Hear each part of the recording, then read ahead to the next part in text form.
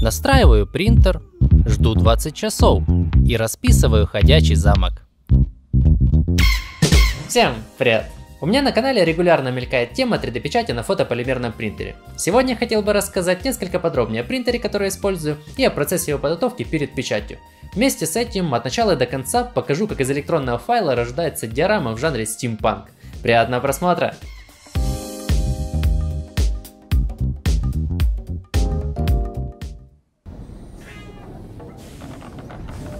Для печати я выбрал фигурку из фильма «Ходячий замок» режиссера Хаяо Миядзаки. Место действия аниме – вымышленное подобие Европы 19 века. Здесь магия переплетается с реальным миром и современными технологиями. У волшебников спокойно покупают магический порошок, по небу летят навороченные самолеты, а в центре этого водоворота странствующий замок на курьих ножках с таинственными жителями. 3D-модель я взял из открытого источника. Ссылка на него будет в описании под видео. В меш-миксере делаю половинки полыми и загружаю их в слайсер Chitubox. Подгоняю масштаб модели таким образом, чтобы она занимала предельные габариты рабочей зоны принтера. Модели размещаю на площадке без каких-либо поддержек. Из-за большого интервала засветки первые слои печати сильно искажают контур модели. Поэтому я добавил пьедестал – который сохранит очертания фигуры, а после печати он будет обрезан. Выставляю необходимые параметры и нарезаю фигуру на отдельные слои. Фотополимерная смола имеет токсичный едкий запах, поэтому для принтера я обустроил вентилируемое место на балконе. Уже заметно похолодало, и за 2 часа до начала печати поднимаю температуру воздуха до 25 градусов по Цельсию. Правильная температура и влажность это два самых важных параметра для качественной печати. Перед началом работы надеваю резиновые перчатки и полнолицевой респиратор. Как я уже говорил, фотополимерная смола токсична. Она вызывает аллергические реакции на коже, слизистых оболочках дыхательных путей и глаз. В первую очередь обезжириваю площадку оси и поддон для смолы. Для удобства изопропиловый спирт распыляю из дозатора. Детали протираю бумажной салфеткой, она хорошо впитывает остатки смолы и не оставляет ворса.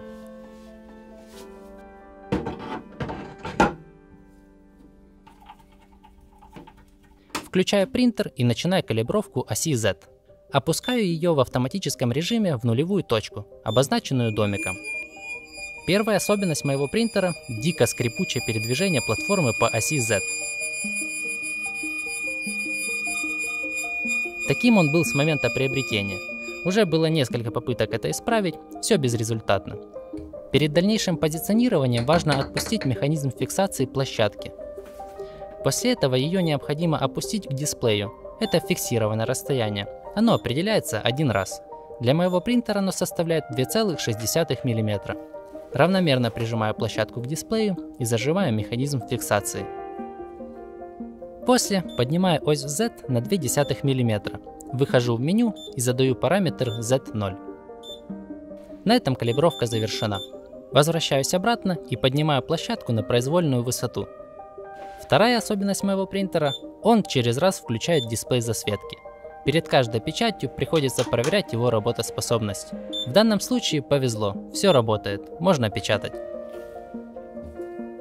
Перед каждой печатью тщательно взбалтываю смолу. Это действительно важно. Смолу заливаю по краям поддона. Если это сделать по центру, высока вероятность залить дисплей управления. Я уже неоднократно наступал на эти грабли. Следующие 9 часов принтер можно не беспокоить. Главное поддерживать в помещении заданную температуру и влажность.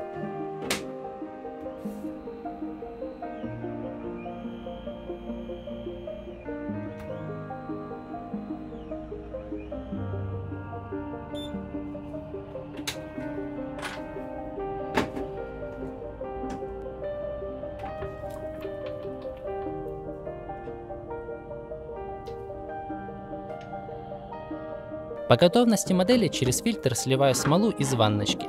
Некоторые мастера не делают эту процедуру после каждой печати, а только отделяют модель от площадки и продолжают печать. Как им это удается, не знаю. Делитесь своим опытом в комментариях, буду благодарен. Ну вот, то, о чем я и говорил. На пленке остались засвеченные сопли. Если бы я поставил повторную печать без слива смолы, на выходе был бы либо треснутый дисплей, либо испорченная фигурка. Поэтому рекомендую после каждой печати сливать смолу и проверять пленку поддона. Далее необходимо очистить фигурку от излишек смолы и досветить ее под ультрафиолетовой лампой. Для этой цели можно приобрести специальное оборудование, но оно требует огромных затрат спирта. Я же обильно опрыскиваю модель из дозатора. Направленный поток спирта быстро сбивает излишки смолы с минимальными затратами. На чистку такой большой фигуры уходит около 20 мл спирта. В упомянутое специальное оборудование пришлось бы залить не менее 500 мл в несколько подходов. Дополнительно продуваю модель сжатым воздухом из аэрографа. Отделяю модель от платформы и перемещаюсь за уютное рабочее место. Выражаю благодарность моим патронам, ваша помощь неоценима. В Патреоне я публикую все авторские 3D-модели и снимки за кулисья с историями. Делюсь собственным опытом и отвечаю на все интересующие вопросы в развернутом виде.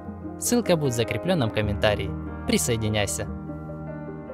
На данном этапе поверхность модели остается мягкой, я бы даже сказал желеобразной.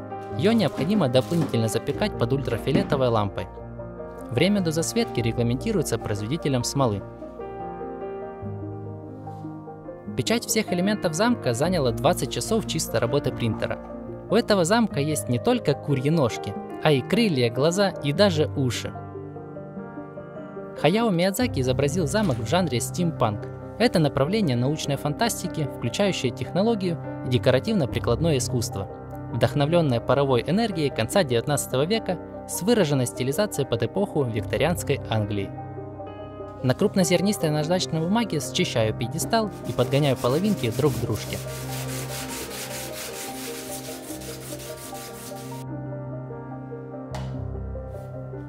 Половинки склеиваю на жидкий суперклей. Он схватывает моментально, поэтому детали важно точно позиционировать с первого касания. Шов склейки зачищаю при помощи бормашины с абразивными насадками. На этом остается расписать фигурку и сделать для нее живописное основание.